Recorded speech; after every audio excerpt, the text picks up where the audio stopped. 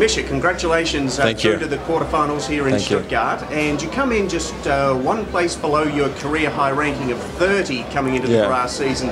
Is this the most important five weeks of your career coming up? Uh, I haven't really thought about it yet, but um, yeah, it's definitely uh, some important weeks coming up because I think I can do well on grass, and I, uh, one of my dreams would be, you know, to have a two in front of my ranking, and uh, that would be phenomenal. So yeah, I'm, I'm definitely looking forward, and I want to do well, and let's see what happens.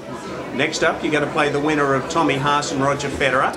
If it's Roger, that's got to be a very special moment to play him on grass. Yeah. Dare I ask about what happened last time you played? Well, last time uh, didn't go too well because uh, I wasn't I wasn't able to win a game against him. But that was four years ago in Halle, and um, I think I mean I would like to think I'm playing better tennis now, and uh, uh, I don't think I can do much worse than last time. But uh, funny thing is that last time I played Tommy was also in Halle, and uh, I think I also lost against him back then. Uh, grass courts today aren't as slick as they used to be, uh, but do you feel that you still have advantage on this surface as a natural serve and volleyer? Yeah, it, it depends because the grass these days is so good. The quality of the of the bounce uh, has become so good that um, a lot of baseline rallies are being played, and, and there's some really long rallies uh, between certain players. And but I think you know playing certain volley is definitely easier on grass than, than it is on, on clay for me. That's for sure. Will you be serving volleying any more on first and or second serves on grass than on other surfaces? Um, it depends on the player, but I would say yes. Yeah, normally I would, I would serve and volley a lot, especially on the first serve. I don't think I would ever stay back on the first serve, but um, on the second serve, I have to see you know who I'm playing against and how they return.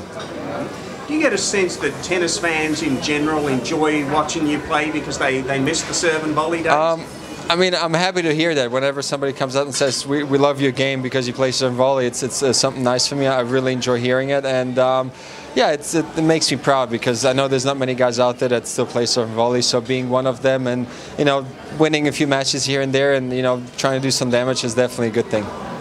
If the grass courts were faster today, like they were back in the Yeah. Edberg, Becker, Sampras days, would we see more serve and volley champions on grass court events like Wimbledon, or is the return just too powerful a weapon these days? Um, no, I think if the grass court was a little bit faster, maybe there's there were a, bit, a few more uh, big, big servers that you know would become champions. But you know, it's it's tennis has become such a tough sport because it's so physical and everybody is, is becoming faster and stronger and quicker and the reaction is better. So that the returners are getting better and better. So they're able to, no matter how big the serve is, the, the returners are able to neutralize the, the opponent's serve so well that.